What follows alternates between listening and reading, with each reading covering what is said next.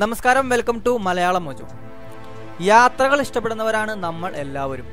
പലതരം യാത്രകളെ കുറിച്ചും നമ്മൾ കേട്ടിട്ടുണ്ട്. നാട് വിട്ട് വേറൊരു നാട്ടിലേക്കും സംസ്ഥാനം മാറിയും രാജ്യം മാറിയും നമ്മൾ യാത്രകൾ നടത്തിയിട്ടുണ്ട്.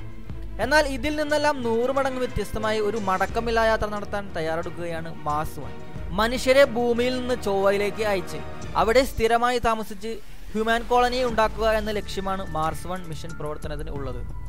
വ്യത്യസ്തമായ പല പരീക്ഷണങ്ങൾക്ക് ശേഷം തിരഞ്ഞെടുത്ത നൂറുപേരിൽ ഒരു മലയാളി പെൺകുട്ടിയും ഉണ്ടെന്നത് മലയാളികൾക്ക് ഏറെ അഭിമാനകരമാണ്. എന്നാൽ ഇത് ഒരു വൺ വേ ട്രിപ്പ് എന്നുള്ളതും ഇനി ഭൂമിയിലേക്ക് വരാൻ പറ്റില്ല എന്നുള്ളതുമാണ് ഏറെ വേദനാജനകം. ഇതേപ്പറ്റി ഇപ്പോൾ മലയാള മോജോയിൽ കാണാം. അതിനു മുമ്പ് ചാനൽ ഇതുവരെ സബ്സ്ക്രൈബ് ചെയ്യാത്തവർ ദിനവും ഇതുപോലുള്ള വിജ്ഞാനകരമായ വാർത്തകൾക്കായി സബ്സ്ക്രൈബ് ചെയ്യൂ മലയാളം മോജോ. ചൊവ്വ സൂര്യനിൽ നിന്നുള്ള ദൂരം മാനദണ്ഡമാക്കിയാൽ സൗരയൂഥത്തിലെ നാലാമത്തെ ഗ്രഹമാണ് ചൊവ്വ. ഉപരിതലത്തിൽ ധാരാളമായുള്ള ഇരുമ്പോക്സൈഡ് കാരണം ചുവന്ന നിറത്തിൽ കാണപ്പെടുന്നതിനാൽ ഇതിനെ ചുവന്ന ഗ്രഹമെന്നും വിളിക്കാറുണ്ട്. റോമൻ യുദ്ധദേവനായ മാർസിന്റെ പേരാണ് പാശ്ചാത്യർ ഇതിന് കൊടുത്തിരിക്കുന്നത്.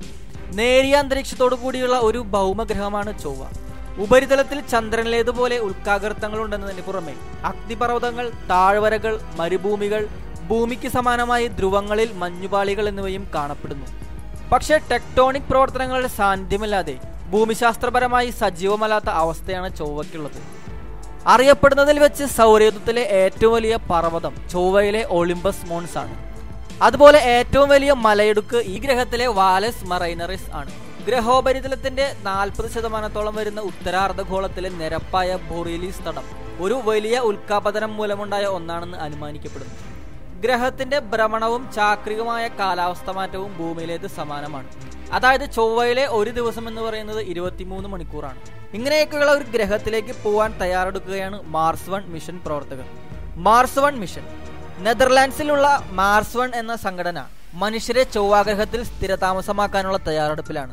ഈ മിഷനിലെ പ്രമുഖർ പറയുന്നത് നമ്മുടെ സൗരയൂഥത്തിലെ ഭൂമിയെ പോലെ തന്നെ മനുഷ്യർക്ക് ജീവിക്കാൻ സാധ്യമാകുന്ന ഒരേ ഒരു ഗ്രഹം ചൊവ്വ ആണെന്നതാണ്.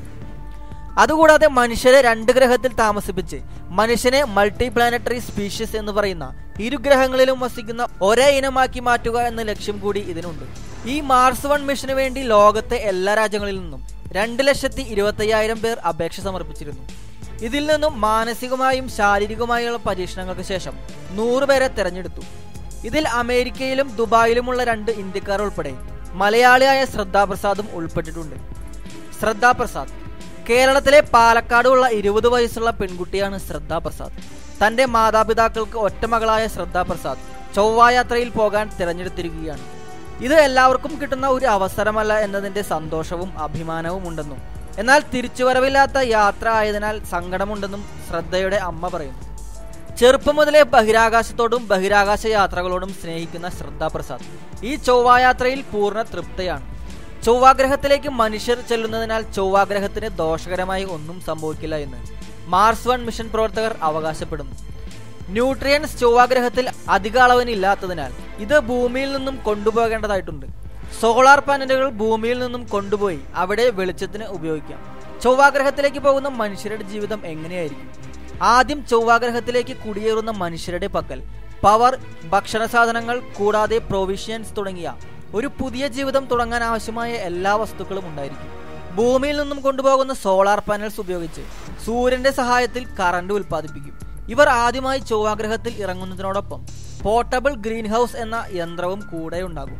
പച്ചക്കറികളും ധാന്യങ്ങൾ പരിപ്പ് വർഗങ്ങൾ എല്ലാം ഉൾക്കൊണ്ട വലിയ വീട് പോലെയുള്ള ഒന്നാണ് പോർട്ടബിൾ ഗ്രീൻ ഹൗസ് ഈ യാത്ര സുരക്ഷിതമാണോ?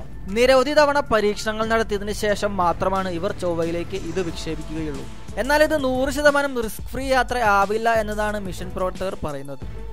മാർസ് വൺ യാത്ര അതിന്റെ വിക്ഷേപണം മുതൽ അതിന്റെ യാത്രയിലും കൂടാതെ ചൊവ്വയിൽ ലാൻഡ് ചെയ്യുമ്പോഴും ഒരുപാട് ആപത്തുകൾ ഉണ്ടാവാൻ സാധ്യതയുണ്ടെന്ന് മാർസ് വൺ പ്രവർത്തകർ പറയുന്നു. രണ്ടായിരത്തി ഇരുപതിൽ ആദ്യ യാത്ര തീരുമാനിച്ചിരിക്കുന്ന മാർസ് വൺ ഭൂമിയിൽ നിന്നും ചൊവ്വാഗ്രഹത്തിലേക്ക് എത്താൻ ആറ് മുതൽ ഏഴ് മാസം വരെ എടുക്കും. ഏകദേശം അഞ്ച് കോടി കിലോമീറ്ററാണ് ഇവർ യാത്ര ചെയ്യേണ്ടത്. ഇത് ബഹിരാകാശത്ത് മനുഷ്യർ യാത്ര ചെയ്ത ഏറ്റവും ദൂരം കൂടിയ യാത്രയാകും. ഭൂമിയും ചൊവ്വയും സൗരയൂഥത്തിൽ ഒരേ പാതയിൽ അല്ലാത്തതിനാൽ ആറ് മുതൽ എട്ട് മാസത്തിനുള്ളിൽ എപ്പോൾ വേണമെങ്കിലും ഈ യാത്ര അവസാനിക്കാം. എന്തായാലും മനുഷ്യർ ചൊവ്വയിൽ കാലുകുത്തുന്നതോടെ മനുഷ്യർ നേടുന്ന ഏറ്റവും വലിയ നേട്ടങ്ങളിൽ ഒന്നാകും ഇത്. ചൊവ്വയിലേക്ക് യാത്ര ചെയ്യുന്ന ശ്രദ്ധാപ്രസാദ് അടക്കം എല്ലാവർക്കും ആശംസകൾ. ഇനിയും ഇതുപോലുള്ള ശാസ്ത്ര അറിവുകൾക്കായി സബ്സ്ക്രൈബ് ചെയ്യൂ മലയാളം മോജോ.